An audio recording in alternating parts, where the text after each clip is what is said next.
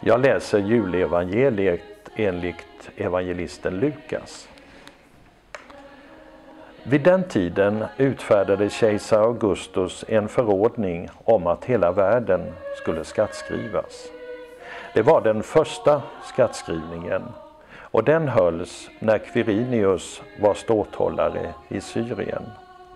Alla gick då för att skattskriva sig, var och en till sin stad.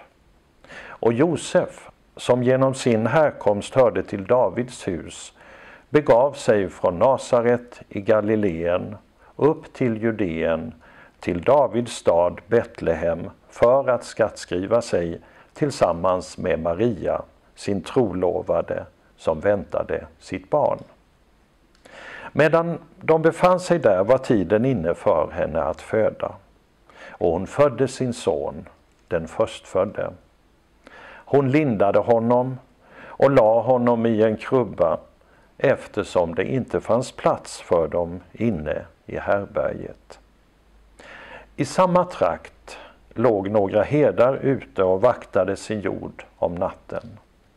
Då stod Herrens ängel framför dem och Herrens härlighet lyste omkring dem och de greps av stor förfäran. Men ängeln sa till dem, var inte rädda. Jag bär bud till er om en stor glädje, en glädje för hela folket. Idag har en frälsare fötts åt er i Davids stad. Han är Messias, Herren. Och detta är tecknet för er.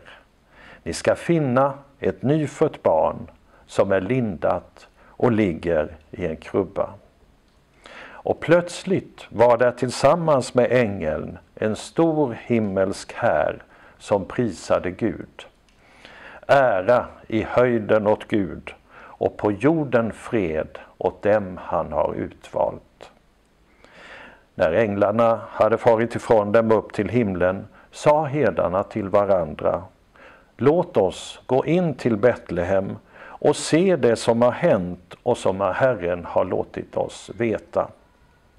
De skyndade iväg och fann Maria och Josef och det nyfödda barnet som låg i krubban.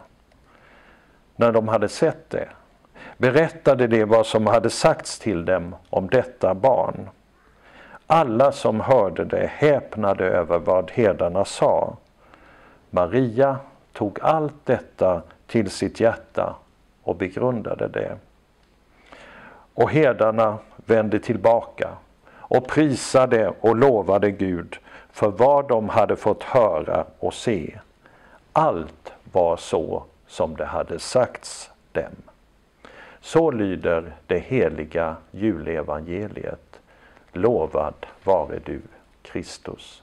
Och så önskar jag er alla en riktigt god jul.